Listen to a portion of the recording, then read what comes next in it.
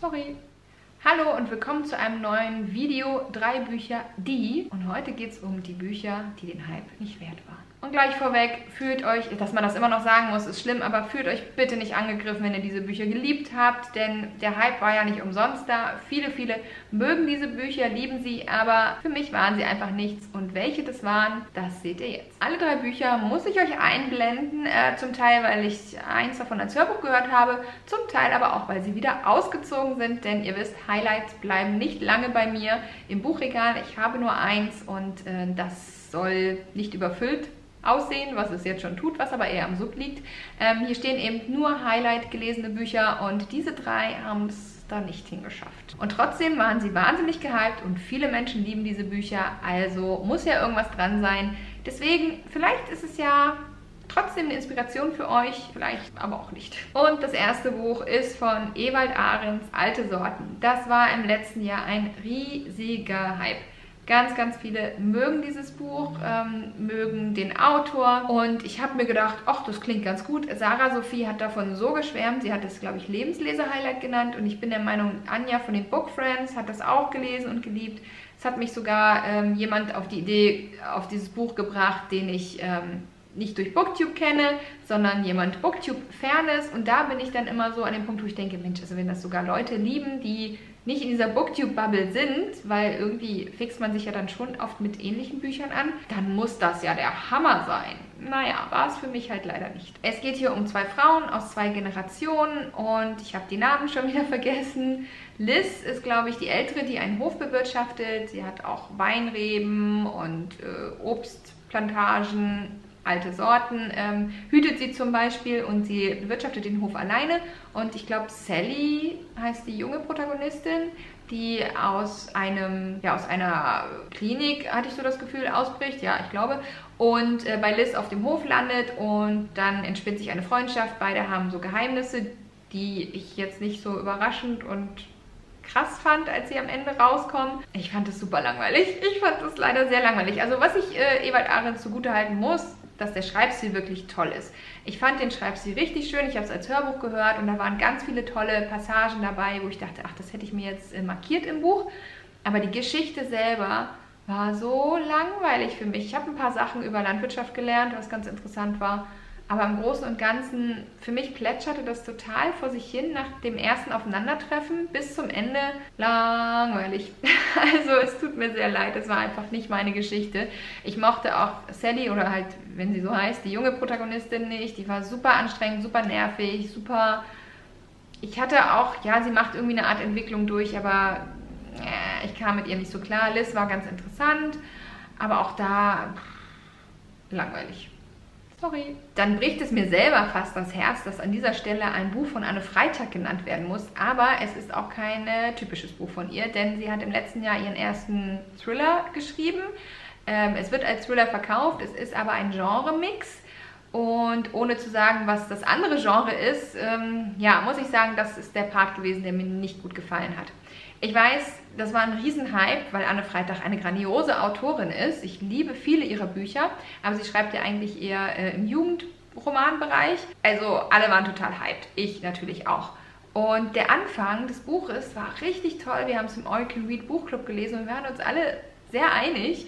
Ähm, der Anfang war spannend. Das war so ein Blockbuster-Gefühl. Es geht um Maya, heißt sie, glaube ich. Ihre Mutter ist Innensenator, Innenministerin, also auf jeden Fall ein hohes Tier in der Politik. Und es passiert ein Autounfall. Ihre Mutter gibt ihr am Ende noch, also sie, sie stürzen in die Spree in Berlin und die Mutter sagt ihr, traue niemandem. Und dann beginnt so eine Jagd irgendwie und das fängt so spannend an. Und dann kommt eben dieser Genre-Mix. Und der hat für mich einfach nicht funktioniert. Der könnte funktionieren, der hat uns auf jeden Fall total überrascht und mich auch. Aber das war dann einfach nicht gut genug vorstellbar. Es waren sehr viele absurde Szenen dabei. Dieses Buch ist dann auch in einem anderen Verlag erschienen. Äh, ich glaube, es ist im Bold Verlag, wo auch Verity und so erschienen ist. Ich habe das Gefühl, der Verlag macht so ganz crazy Sachen mit Autoren, Autorinnen, die sonst eigentlich was anderes schreiben. Ist interessant, aber hat bei Anne Freitag aus Schwarzem Wasser einfach nicht für mich funktioniert. Ich konnte mir dieses andere Genre, ich will das jetzt nicht nennen, weil das war schon eine coole Überraschung, aber ich konnte mir das nicht gut vorstellen. Ähm, es war absurd geschrieben und ja, nee. Und das Ende war doof. Und ach, das war einfach echt ein Flop. Und ich glaube, ich habe dem Ganzen zwei Sterne gegeben. Ewald Ahrens, Alte Sorten, habe ich zwei Sterne gegeben. Und ich glaube, ich habe auch diesem Anne Freitag Buch zwei Sterne gegeben. Ich schaue nochmal nach. Ja, zwei Sterne. Ja. Sorry, Anne Freitag. Das war nicht mein Buch. Aber ich weiß, viele fanden es grandios. Deswegen, maybe, es ist etwas für euch. Ist auf jeden Fall ein interessanter Genre-Mix.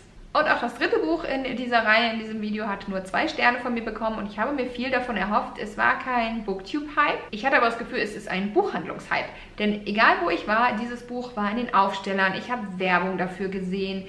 Ich habe, als ich in Leipzig ursprünglich zur Buchmesse, dann war es seit letzter Urlaub äh, irgendwie in 2020, bevor dann im Sommer so ein bisschen wieder ähm, Urlaub möglich war, aber auch nur in Deutschland. Egal, anderes Thema auf jeden Fall war ich da in einem Hotel und es wäre ja eigentlich Buchmesse gewesen, aber auch da hing Werbung mit einem Gewinnspiel und dieses Buch hatte auf jeden Fall eine gute Marketingstrategie, muss ich sagen. Und zwar spreche ich von Karin Benedikt, Das Grand Hotel. Und es ist auch der Beginn einer Reihe. Man kann das erste Buch aber auch lesen, ohne weiterlesen zu müssen. Ich weiß nicht, ob Band 2 schon erschienen ist. Es war ein Riesenhype und in Newslettern fällt mir ein, habe ich das auch gesehen und ich fand das Cover so schön. Ich bin sehr lange drum rumgeschlichen, weil ich keine neuen Bücher kaufen wollte und es ist mir so oft begegnet und dann habe ich das Schicksal entscheiden lassen und ähm, habe tatsächlich ein Rezi-Exemplar bekommen und habe es dann auch gelesen, als ich an der Ostsee an der Küste war. Und das hat da sehr gut gepasst, denn es spielt in Binz, es geht um, es geht einmal um Binz, um das Grand Hotel dort, das, was auf dem Cover zu sehen ist, ähm, ich muss euch das ja einblenden und ich habe das Buch nicht mehr, zwei Sterne wie gesagt. Das äh, gibt es dort und äh, spielt in der Vergangenheit, fragt mich jetzt nicht, äh, wann das spielt, aber es spielt halt nicht in der Jetztzeit und es geht auch um das Astor in Berlin, denn der eine Sohn der Besitzerin des Grand Hotels hat das Astor und es geht um die Familie, es geht um die Sachen, die bei dem Hotel passieren. Das ist eigentlich ein tolles Setting, aber da hat mir der Schreibstil nicht gefallen. Ich fand ihn nicht interessant. Es war für mich sehr einfach geschrieben, relativ plump. Ich bin den Charakteren nicht so nahe gekommen, wie das machbar gewesen wäre, wenn jemand anderes das geschrieben hätte. Aus, diesem, aus dieser Idee hätte was Grandioses werden können. Ich mag solche Familiengeschichten eigentlich ganz gerne. Es spielt nicht in zwei Zeiten, aber wenn ich das zum Beispiel mit dem Schreibstil von Lucinda Riley vergleiche oder Ellie Lark, Sally Lark, Sarah Lark, Sarah Lark ist ja auch ein Pseudonym, aber diese Neuseeland-Saga zum Beispiel, das ist irgendwie besser gewesen. Es hat mir in der Umsetzung gar nicht gefallen, deswegen hat es auch nur zwei Sterne bekommen, das Grand Hotel. Ähm, ich weiß nicht, ob es noch jemand gelesen hat. Wie gesagt, auf Booktube war das jetzt nicht der Hype, aber in den Buchhandlungen. Und ich könnte mir vorstellen, dass viele zu dem Buch gegriffen haben, weil, um das nochmal zu erwähnen, ist es wirklich wunderschön. Es hat ein sehr schönes Cover. Aber der Inhalt war einfach zu plump und irgendwann hat es mich auch nicht mehr interessiert. Ich habe nicht so gerne zum Buch gegriffen. Ich habe es weitergelesen, weil ich dann irgendwie manche Handlungsstränge wissen wollte, wie es ausgeht. Aber die Umsetzung, das war nicht meins, obwohl das ziemlich krass gehypt wurde. Jetzt würde mich natürlich absolut interessieren, welche gehypten Bücher und vielleicht Bücher in dem Fall, die ich total mochte, ihr aber furchtbar fandet, die euch nicht gefallen haben, wo ihr euch fragt, warum waren die so gehypt? Ich verstehe es einfach nicht.